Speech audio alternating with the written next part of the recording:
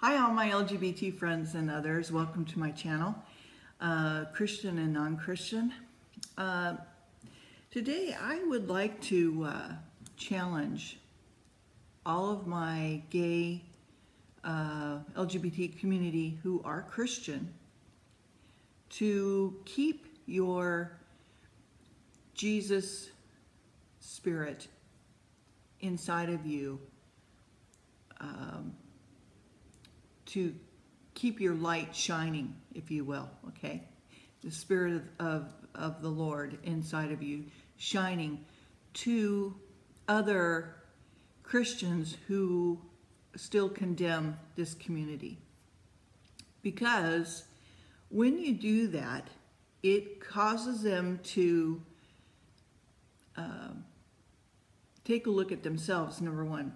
They recognize in you the same spirit that they have in them, their spirit recognizes your spirit.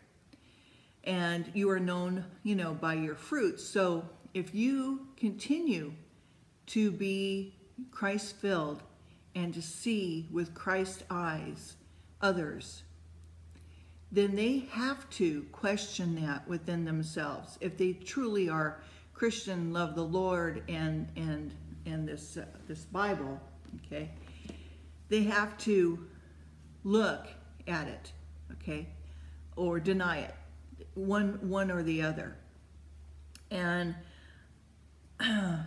um, they they'll have to go back to their Bibles and question what it is that the Lord has to say, and really, if they really care, uh, they will delve into the Bible even more so and it will gnaw at them and it will eat away at them until they do. So, uh, you know, use it as a battle tool, if you will, um, to help our brothers and sisters see that they need to see people with Christ's eyes. And as in Romans 2, not to do this, okay? Um, therefore, Thou art inexcusable, O man, whoever thou art, judgest. For within thou judgest another, thou condemns thyself, for thou that judgest doesn't that doesn't the same thing. Okay, I know it's the old King English, but basically just saying, if you judge somebody else, you are condemning yourself, and therefore you're judging, you know, the same thing. Okay? So, uh, in chapter 2, uh, it also says, But we, we are sure that the judgment of God is according to truth against them which committed such things. Okay, so we're, we're so righteous. We know that they're wrong. um, these Christians are influenced by the Bible and their culture and their history and their upbringing and the, the social norms, okay? So uh, we have to take all of that into account uh, because they just don't know. They just don't get it. They don't understand it. They don't know what to do with it still and they don't know the history. And I love history. Um, I don't know if you guys, if I've ever said that, but I really do. I really love history because history teaches us uh, things that we've forgotten, okay, and that we don't know, and hopefully we don't repeat it, but we often do. So, in our history, we know that the Christians uh, set up bathhouses. We know that Christians um, were against prohibition. We, you know, we know that the Christians are the ones that marginalize the gay community um, to begin with.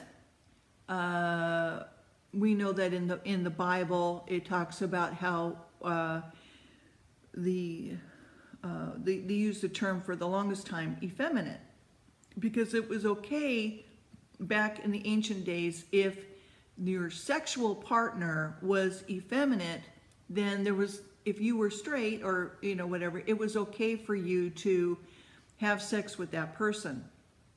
because they were effeminate. It had nothing to do with gender identity. That didn't come until uh, the 40s, okay, really. Uh, the first time that the, the, the word homosexual was printed in a Bible was in 1958 and, and maybe even beforehand in the 40s, in the late 40s. Uh, effeminate, the word effeminate was changed out for the word homosexual. So effeminate, when we understood it, did, did not mean homosexual, okay? Um, and it wasn't until much later the Catholic Church adopted the same thing. They used the word masturbation and then they changed it to homosexual. So um, it's not it's not correct. That's our that's our history. Um, in sort of a nutshell, I know I'm being really quick here because I only have this short amount of time here on my uh, YouTube channel. Um, but you know, uh, you who are judging the, those Christians, you also will be judged by God. So if you're a gay, lesbian, transgendered, bi, queer, questioning person in our community, you need to look if and you're Christian and you believe in God, you know there's God, you know God made you just the way that you are, you know within your heart you know, you with all of your being, every fiber of your being, that you're perfectly all right. Okay, and it's just a matter of trying to convince everybody else. Believe it, that's a that's a horrible sentence to be to be placed on somebody, especially a young child. Um, my heart goes out for the children who are having to face who they are and and trying to convince their parents that they're okay, that they're that there's nothing wrong with them, that we are a gift, that we were meant as a gift to our parents according to God and according to his word, okay? The, the eunuchs who were made, okay? And if you if you follow the eunuch prophecies from Isaiah to Acts, um, you look at some of my other YouTube uh, uh, uh, topics on the eunuch, you can find out more about that. Um, today's yesterday's eunuch is today's homosexual, just to kind of put it uh, bluntly.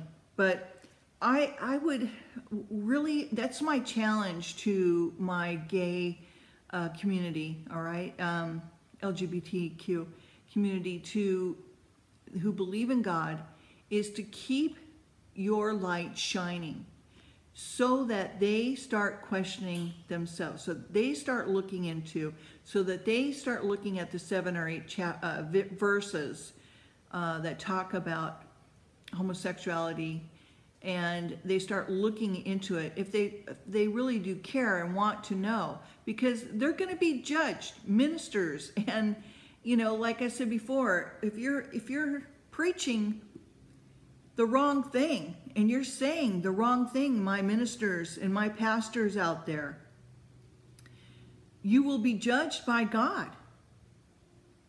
Okay? So you have to be very careful about what you're saying. You don't want to be put out to the dark mist, okay, for however long, all right? Um, uh, my nose is running, so forgive me. It's still, still allergy season or something going around. Um, but anyway, uh, I, I, really would like to challenge that for you, especially since you know we're coming up upon the Sabbath, um, to go into your your churches, your non-denominational churches, and just be yourself. Be your, you know, be the light of Jesus that is in you to others who are still maybe questioning. I know within our own community, we talk about each other and not nicely.